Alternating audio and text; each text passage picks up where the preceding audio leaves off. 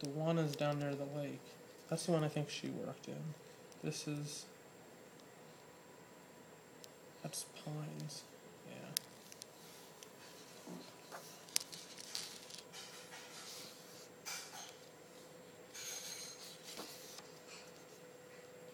They had an engine down there.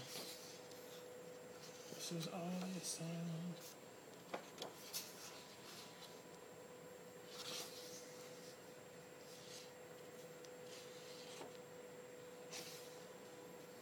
That's cool, man. What book is it? The History of the Town? Wow. It's a centennial book.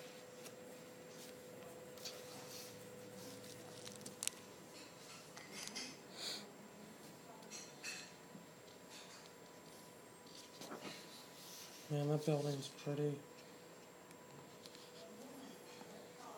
Look, it had a round connector. Yeah, that's what, Is that the one that's gone? Yeah. That looks just like a Kirkbride.